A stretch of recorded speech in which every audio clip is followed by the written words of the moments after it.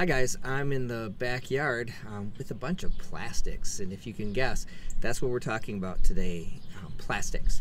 Now, there's a lot of concerns about plastics in the ocean, and there's this thing called the the huge ocean uh, garbage patch, which is uh, the, the currents bring together the plastics that are in the the ocean, and they kind of keep in one place. We have three videos, actually four videos today to take a look at. First one is sci-fi, SciShow Kids, and Jessi tells us about how uh, where plastics had come from and what we can do with them, and and how they can have some uh, major uh, impacts on the environment and what we can do about that. Um, after that is uh, it's okay to be smart. Joe tells us about how much plastic ends up in the ocean, and uh, third one is another one about the the ocean and plastics in the ocean. The great um, the Pacific Garbage Patch says just how much stuff is in there and, and describes it. And you can see some of the pictures or the videos from that.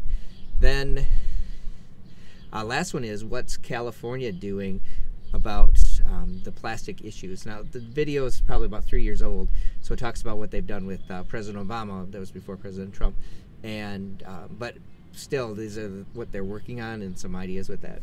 For um, just an understanding, the uh, the plastics in the ocean, not necessarily all just like this stuff together. Uh, once it breaks down a little bit, it takes 500 years or more to break down completely, but uh, they'll break down a little bit, and then there's just a bunch of it, pieces flying around, and then the, the fish um, really can get messed up with that. So these are just some plastics that I have around the house to put into recycling. Obviously, you Mountain Dew, but uh, you can recycle these. I've read uh, both ways that you're supposed to take the tops off of them and put them in or you can leave the tops on. It, it didn't seem to make much of a difference.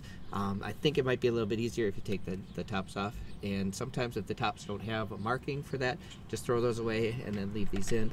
Uh, everything should be washed out or just quickly rinsed out. Um, laundry detergents, yes, they go in and um, the top probably take off and keep it separate.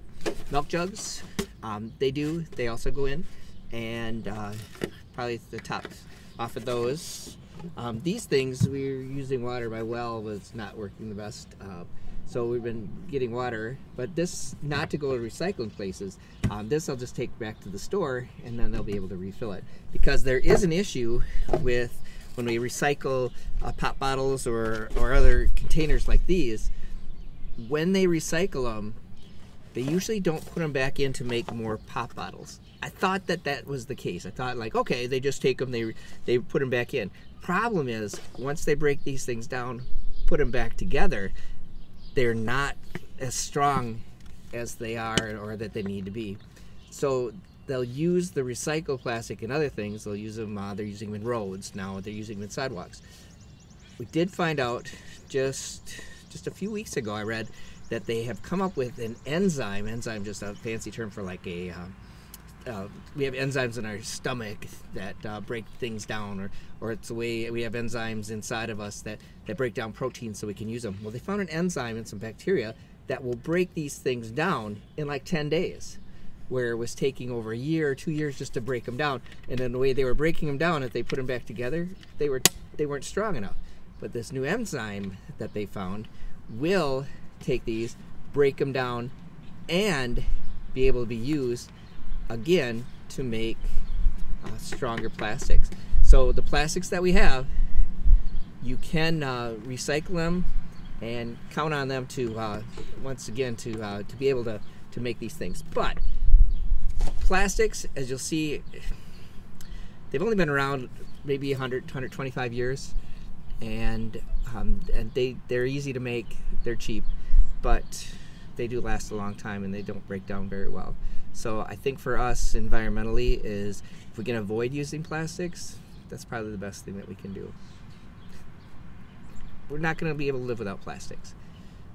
But um, if we can limit like the number of shopping bags, you take a cloth bag instead, or um, if you use your hydro flasks or your water bottles to fill up instead of buying bottled water those things are great. And you know, I'm not always the best about this myself. But anyway, um, watch the videos. Three questions afterwards. Get on it.